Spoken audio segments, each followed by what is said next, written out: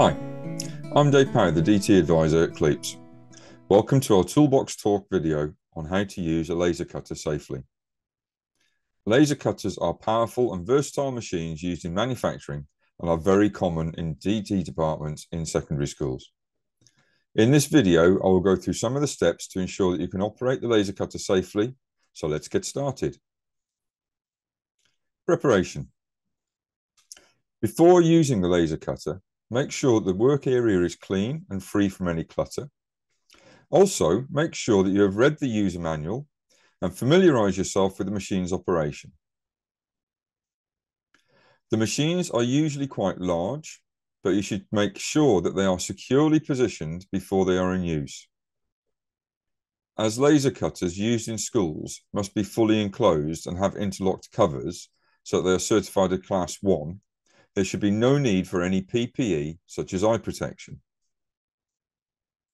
Before using the laser, make sure there is no debris from previous work under the laser bed. The bed will become dirty with residue from cutting. This will need periodic cleaning to minimize the risk of the residue igniting when using the machine. To clean the bed, it should be removed and washed with hot soapy water, then left to dry before being reused.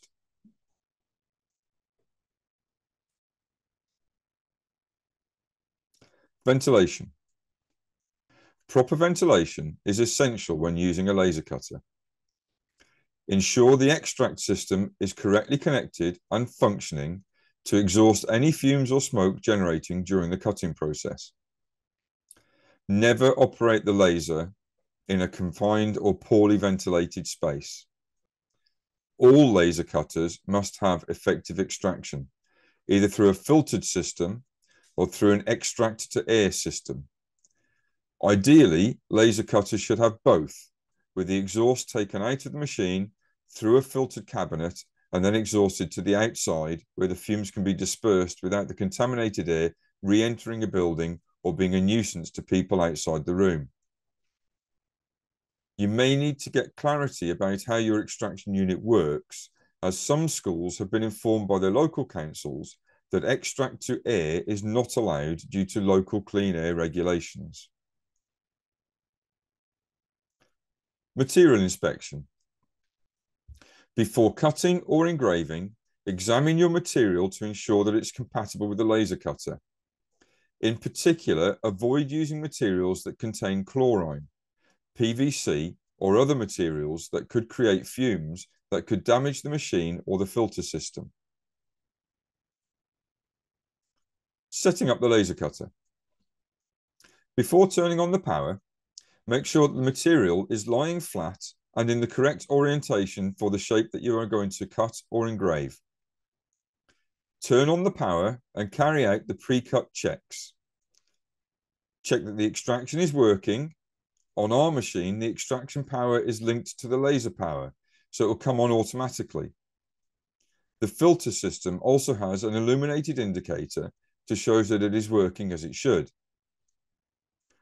Check that safety interlocks are functioning correctly and that all covers close properly. Check the focal length and make sure the lenses are clean.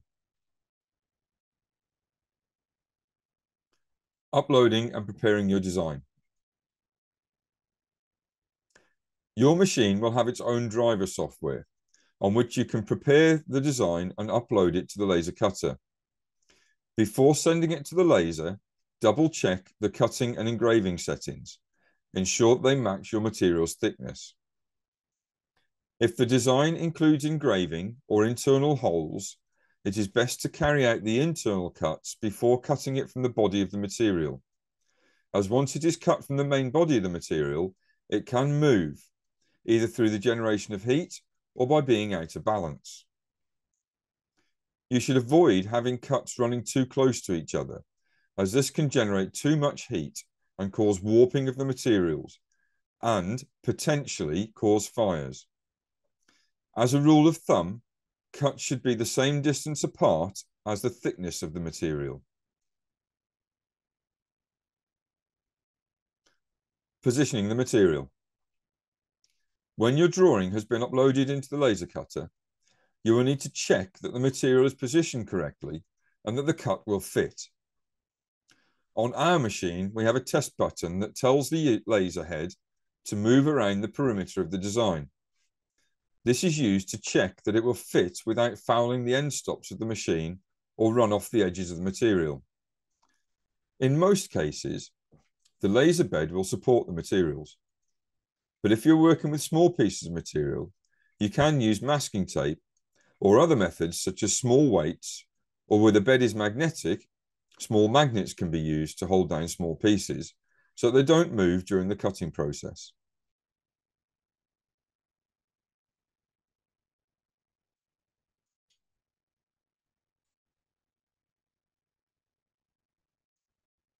Safety checks. Before starting the laser, ensure the machine is closed and the extractor is running. Stand at a safe distance and never leave the laser cutter unattended while it is in operation. Starting the laser cutter. Now that everything is in place, you can start the cutting process. Press the start button and stay with the machine throughout the operation.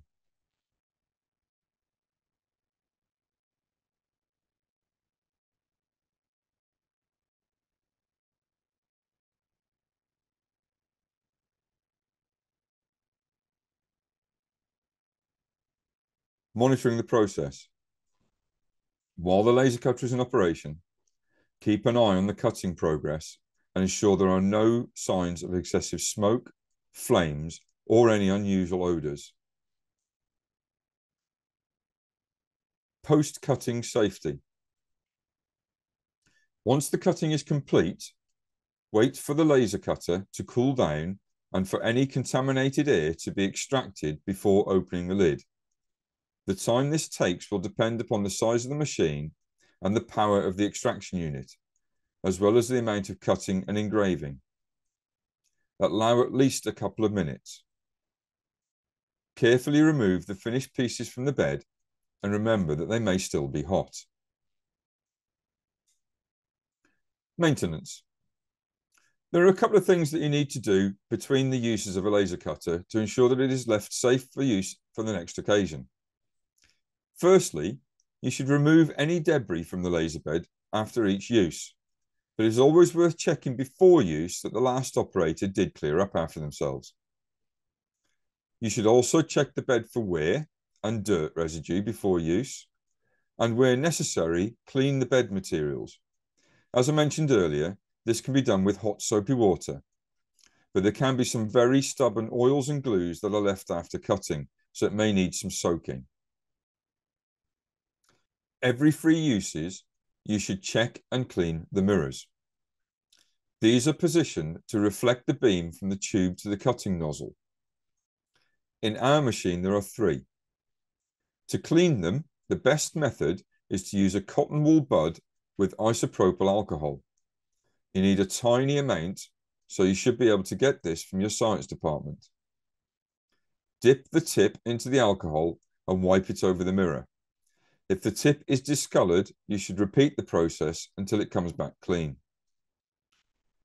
Most laser cutters do not need any parts lubricating, but you should check with the manufacturer, as it may be good practice to inspect and where needed, add suitable lubrication to bearings and spindles.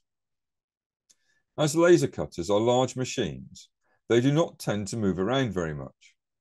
But if they are still plugged into the power supply with a three pin plug they will need a periodic portable appliance test.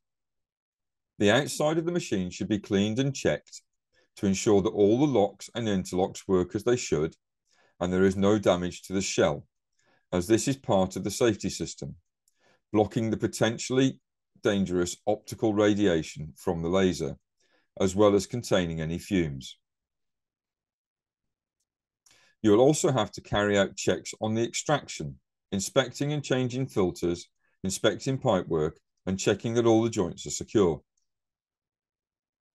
Some machines will have separate water chillers or air pumps that will also need periodic checking.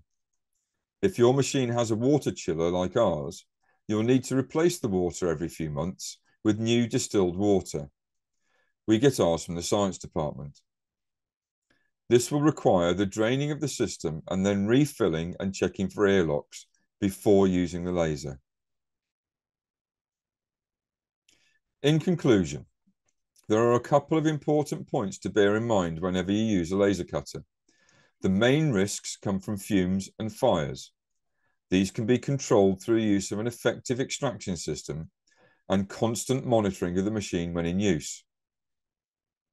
If, while cutting, you notice there are flames, you should pause the laser. If the flames do not immediately go out, turn off the machine. The extraction system should cause the flames to be extinguished. If this does not happen, you will need to extinguish the flames with a dry powder or CO2 extinguisher. If the flames get hold of the material, you should immediately evacuate the room and follow your school fire drill procedure. I hope this has been helpful. If you have any questions about the use of the laser cutter in school or any other piece of equipment, please contact CLEAPSS through the helpline. Thanks for watching.